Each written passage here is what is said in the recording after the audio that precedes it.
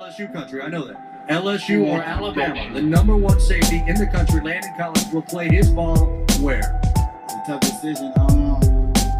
I got both schools here. I'm going to roll tide roll.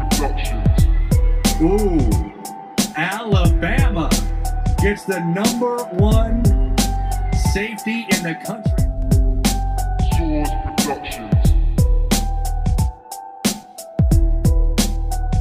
It means a lot.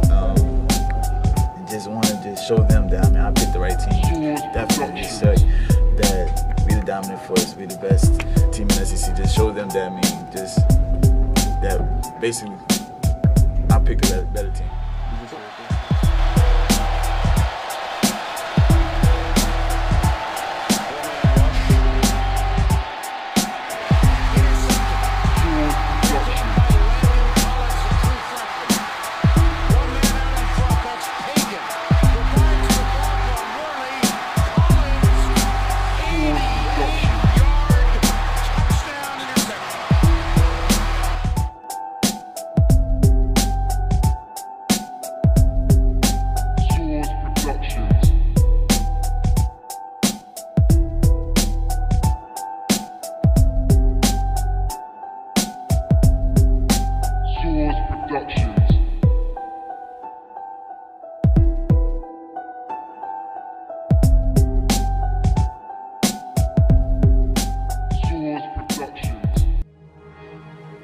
Was back to return.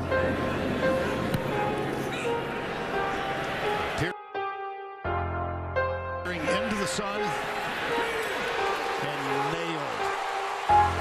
Landon Collins. Boom. Well, Landon Collins has been doing this for his two years at Alabama. And he will make you pay. Clean hit, shoulder, into the chest. And he'd already dropped